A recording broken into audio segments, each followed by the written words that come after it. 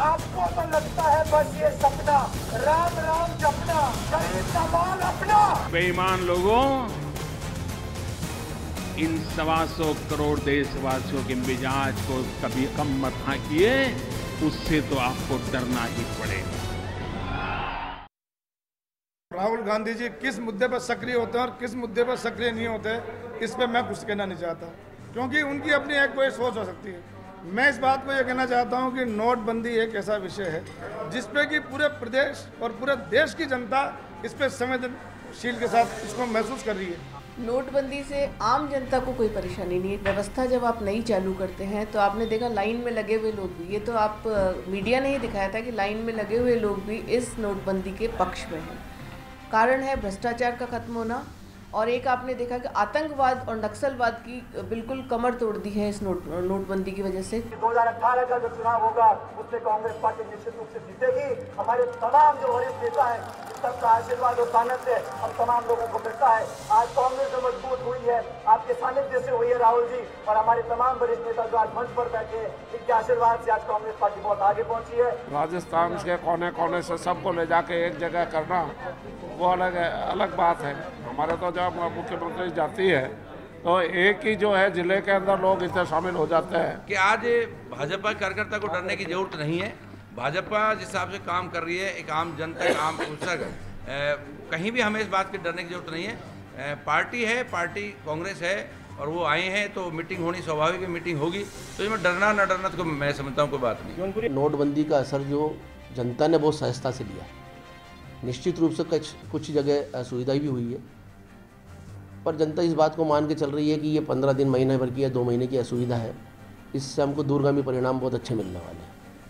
और जब पैसे के जो खुला हो जाएगा इफरात हो जाएगी जब बैंकों से आसानी से पैसा मिलने लगेगा तब इसके जो पॉजिटिव इफ़ेक्ट है वो ज़्यादा हमको नज़र आएँगे।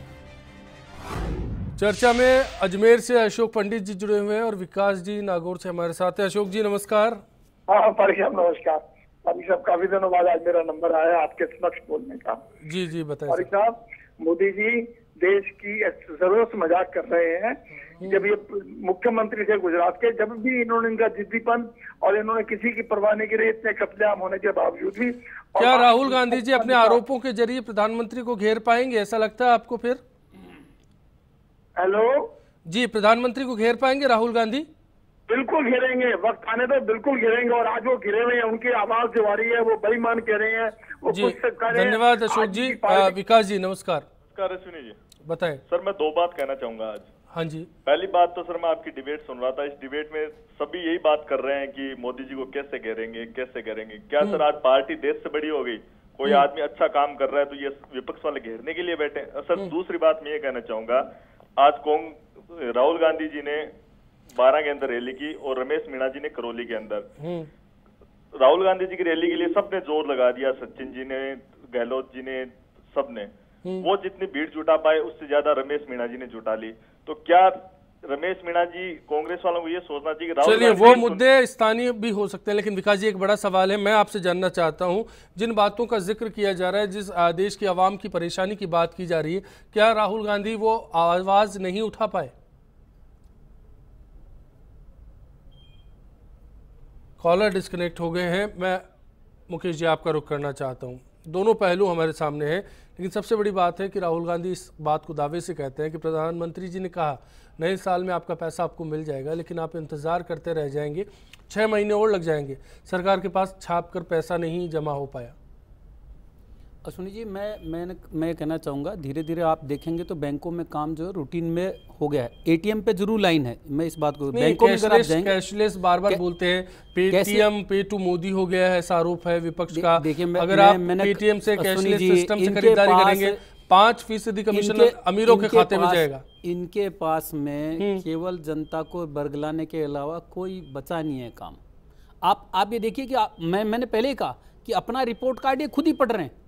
इनके नेता कह रहे हैं आज आज अगर राहुल जी कह रहे हैं कि 60 परसेंट जनता अनपढ़ है, ऑनलाइन पेमेंट नहीं कर सकती। अरे भाई साहब, आप भूल गए। आपके पिताजी, आप लोग कहते हैं कि राजीव गांधी ने आईटी युग की शुरुआत की हिंदुस्तान में और पिचासी में उन्होंने आईटी युग की आज इतने पिचासी से भी अगर अपन काउंट करें तो लगभग बीस बाईस साल आपने राज किया। और 20-22 साल राज करने की बात भी आप कह रहे हो कि जनता दो पहलू राहुल गांधी ने आज बारह में रखे। पहली बात कि जाली नोटों के खात्मे की बात की गई लेकिन इस नोटबंदी के दौर में भी एक रुपए में से दो पैसे तीन पैसे जाली नोटों के हैं। दूसरा सवाल अगर आतंकवाद के खात्मे की बात की गई तो हालिया मुठभेड़ में मिले आतंकवादियों के शव में के साथ में दो हज़ार रुपये के नए नोट मिले थे। दोनों पहलुओं को लेकर प्रधानमंत्री जिन बातों का दावा करते हैं वो कारगर साबित नहीं होती। क्या भारतीय जनता पार्टी के पास इसका जवाब है? अश्वनी जी अभी भी आपने देखा होगा छत्तीसगढ़ में नक्सलियों ने बड़ी संख्या में और अपने आप को आत्मसमर्पण किया है। तो कहीं न कहीं कमर तोड़ काम इसमें हुआ है। इसमें कोई दोराई नहीं।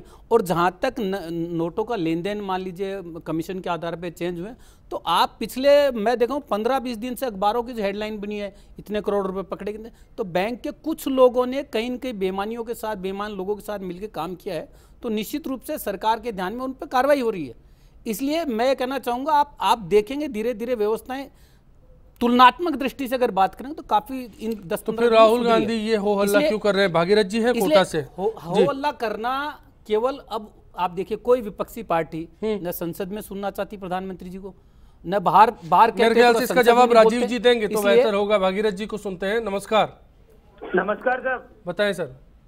मैं कोटा से बोल रहा हूँ। हाँ जी। ये मुकेश जी कह रहे हैं कि व्यवस्थाएँ सुधर रही है। हाँ जी। मैं इनसे ये पूछना चाहता हूँ कि पूरे देश में आज किसान त्राई त्राई कर रहा है। हम्म। बारह ज़िले में किसानों की हालत या पूरे राजस्थान या हिंदुस्तान में किसानों की हालत इतनी खराब हो रही है हम्म। कि ये वास्तविकता में जाके देखें नोटबंदी से कितना बुरा असर हुआ है। सारे काम धंधे ठप हो गए लोगों के। गरीब आदमी को पैसा नहीं मिल रहा अमीरों के घर तिजोरिया भर रही है। किस बात की विफलता है? जी मैं राजीव जी के पास आऊँगा मुकेश जी से जवाब लूँगा आपकी बात का। राजीव जी एक तरफ़ भागीरथ जी का तर्क है लेकिन मुकेश जी जिस बात को कह रहे हैं राहुल गांधी कहीं भी अपनी बात को मनवाने में कामयाब नहीं रहे लगातार विफलताएँ आ रही है लोग कन्वेंस नहीं है आज भी। देखिए निश्चित रूप से जो मुकेश जी कह रहे थे उससे बात बिल्कुल उल्टी है। पंद्रह लाख चालीस हज़ार करोड़ रुपए में से अगर पाँच लाख करोड़ रुपया बैंक के अंदर आया है अगर दस लाख करोड़ का डेफिसिट होता है तो निश्चित रूप से कैश क्रंच है इस बात को मानना चाहिए। अगर आपके पास करंट अकाउंट है तो भी आप पचास हज़ार रुपये ज़्यादा एक एक हफ़्ता में नहीं निकाल सकते। चौबीस हज़ार की बात करते हैं तो दस हज़ार रुपये निकलता नहीं है। इस बात में सच्चाई है। और गाँव में जाके देखें साढ़े तीन सौ रुपये मजदूरी मिलती थी एक मजदूर को वो दो सौ रुपये के अंदर काम करने को तैयार है क्योंकि वहाँ पर किसी के पास कैश नहीं है उसको देने के लिए। ये जो स्थिति आ रही है लोगों का सब्र का बाँध टूटता जा रहा है। पचास दिन का आपने वादा करा था, पचास दिन पूरे होने वाले हैं।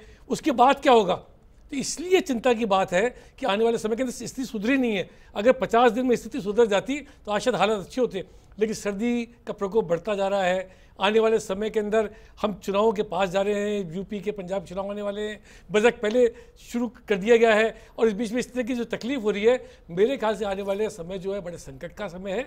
तुरंत इंतज़ाम करना चाहिए। हम चाहते हैं कि गरीब की समस्या का समाधान हो और लोगों को समय के श्याम जी तनख्वाह मिल सके। जी श्याम जी दोनों पार्टियों के अपने अपने तर्क है लेकिन इसमें राजनीति कहाँ पर किस स्तर पर हो रही है जानना चाहूँगा। अश्विनी जी क्योंकि राजनीति तो शुरू से हो रही है। ये बात तो ठीक है कि अगर नोटबंदी का प्रक्रिया तो अगर सही तरीके से अपनाई गई होती और बैंकों को सही तरीके से उस वक्त कसावट कर दी गई होती तो ये स्थिति पैदा नहीं होती। क्योंकि रिज़र्व बैंक के अधिकारी जब शामिल हो गए आपके घालमेल में तो स्थिति तो खराब हुई। जनता को जहाँ पैसा पहुँचना थे, वह नहीं पहुँचा, वो घरों में पहुँच गया। अब देखिए, जितना पकड़ा गया पैसा, उसे स्पष्ट हो रहा है कि लोग ले गए कमीशन के अंदर। तो अव्यवस्थाएँ तो है। नोटबंदी को लेकर तो खिलाफत कोई करने के लिए तैयार नहीं है। मैं भी नहीं मानता कि नोटबंदी लेकिन व्यवस्थाएँ ठीक कर दी गई होती तो ये आज स्थिति जो मुकेश जी बार बार कह रहे हैं कि राहुल गांधी नब्ज नहीं पकड़ पा रहे जो आवाज़ उठानी चाहिए भ्रष्टाचार के आरोप में रह गए व्यवस्था की बात नहीं की उन्होंने। जी आज अगर यही अगर वहाँ पर लाख लोगों से ज़्यादा की भीड़ इकट्ठी करके दिखा देते कि राहुल गांधी के साथ लोग काफ़ी है क्योंकि आज वहाँ जितने लोगों का दावा किया गया आधे पहुँचे। तो ये तो लग ही रहा है ना कि कांग्रेस भी जिस मजबूती के साथ मामले को उठाना चाहिए वो नहीं उठा पा रही है। अब देखिए जो आज आज जो जो चीज़ बोल रहे थे आप ना तो आप देखिएगा कि राहुल गांधी ने जिस प्रकार से लोगों को कहने का प्रयास किया तो लोग जाने लगे थे। लोग समझ नहीं पा रहे थे कि क्या बोल रहे हैं। तो इसलिए जब तक राहुल गांधी लोगों को जोड़ नहीं पाएँगे स्थितियों से तो ये सब चीज़ें होगी। बातें बहुत की। connect नहीं कर पा रहे हैं। है हाँ। कि आपकी रिपोर्ट पूरी गलत है। हमारे पास तो आज देख रहा ज़बरदस्त वहाँ पे आप बता दी कितनी भीड़ थी? समर्थन मिला आप बताइए कितनी भीड़ थी? भी बता रहे थे मैं- आपको, मैं ये आप कह रहा सच बात है। वो चालीस हज़ार क्या और ग्राउंड था? नहीं नहीं समझना चाहिए बात को अच्छा नहीं तो तो राष्ट्रीय स्तर नेता चालीस हज़ार लाख दो लाख बात और वो मुख्यमंत्री का क्षेत्र देखिए बारह की बात है मुख्यमंत्री क्योंकि के ज़िले के पुत्र अंदर का क्षेत्र था और जहाँ पे तीन लाख गुजर समुदाय रहता उसी उसी उसी संभाग से कोटा से एक और कॉलर है हमारे साथ जितेंद्र जी जुड़े हैं नमस्कार। नमस्कार मैं जितेंद्र नागर बोल रहा हूँ कोटा से चंद्रसल से। जी सर बताएँ। जी बैंक में जाते हैं ये पैसे देने के लिए चौबीस हज़ार की बात करते हैं। अरोड़ा जी बिल्कुल सही बात बोल रहे हैं। और दस हज़ार रूपए देते हैं लाइन में खड़े होने पे। दस हज़ार से कुछ भी नहीं हो रहा। किसान लोग हैं। तो राहुल गांधी आज आए थे आपकी आवाज़ उठाने में कामयाब रहे वो ठीक से बात कर पाए आपके लिए? नहीं बिल्कुल ठीक बोल रहे हैं वो सही बोल रहे हैं बिल्कुल। बिल्कुल सही बोल रहे हैं। दस हज़ार में कुछ नहीं हो रहा। किसानों को तो बहुत परेशानी आ रही है। नॉर्मल स्थिति नॉर्मल जितेंद्र जी धन्यवाद जुड़ने के लिए। ये आवाज़ है अवधेश आकोदिया साहब। एक तरफ़ सरकार के तर्क है लेकिन इन तर्कों का जवाब राहुल गांधी से बेहतर जनता ने दिया अभी जो हमें लग रहा है। जनता का मुद- अ, मुद्दा क्या रख पाए हैं राहुल गांधी ऐसे हालात में? देखिए मेरे हिसाब से ना तो प्रधानमंत्री नरेंद्र मोदी और ना ही राहुल गांधी। जनता के मूड को ये दोनों ही नहीं भाप पा रहे हैं।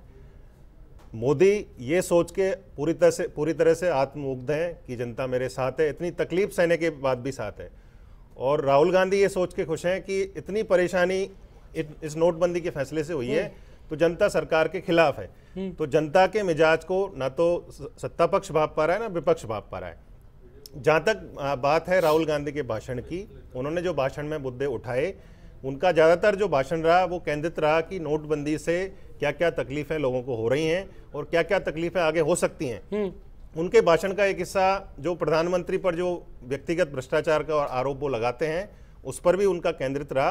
हालाँकि उसका उनको उतना रेस्पॉन्स नहीं मिल रहा है, क्योंकि जो नरेंद्र मोदी की छवि है, पिछले दिनों जब से वो गुजरात के मुख्यमंत्री थे, गुजरात के मुख्यमंत्री से लेकर जो सफ़र रहा है उनका प्रधानमंत्री प्रधानमंत्री बनने तक का, उसमें जो उन्होंने अपनी छवि गढ़ी है ये ये कहना जल्दबाजी है ये कहना बिल्कुल भी सही नहीं है कि वो बिल्कुल जैसा दिखाई दे रहे हैं वैसे ही हैं। लेकिन उन्होंने अपनी छवि इस तरह की बनाई है कि वो ईमानदार हैं ना वो भ्रष्टाचार खुद करते हैं ना करने देते हैं। लेकिन जिस तरह के जो दस्तावेज़ हैं हालाँकि वो दस्तावेज़ कोर्ट में एडमिसिबल नहीं है लेकिन इस तरह के दस्तावेजों पर पहले आरोप लगते रहे हैं इस्तीफे भी इस्तीफे भी होते रहे हैं। तो इन आरोपों क्योंकि इससे बड़े आरोप किसी भी पॉलिटिकल लीडर के खिलाफ मिल नहीं सकते आपको करप्शन के पर्सनल करप्शन के कम से कम।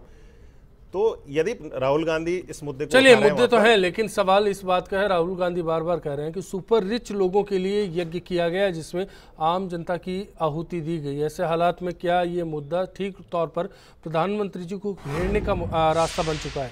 एक ब्रेक आखिरी दौर में आपके जवाब के साथ होगी वापसी।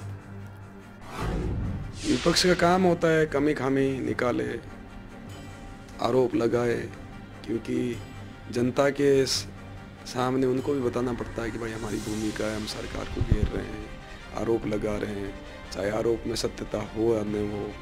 परंतु आरोप इसलिए लगाते हैं कि एक जागरूक विपक्ष की भूमिका निका, निभाने का असफल प्रयास कर रहे हैं कि राहुल गांधी ने कभी भी विरोध की राजनीति नहीं की और खासकर नोटबंदी को लेकर जो आप बात कर रहे हैं मैं आपको बताना चाहता हूँ कि देश के प्रधानमंत्री ने अचानक टीवी पे आके बोल दिया कि कल से नोट बंद है तीस तारीख तक ये नोट चलेंगे।